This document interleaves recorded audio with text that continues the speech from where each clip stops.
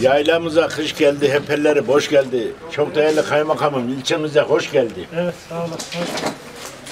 Teşekkür ediyoruz. Bu kadar.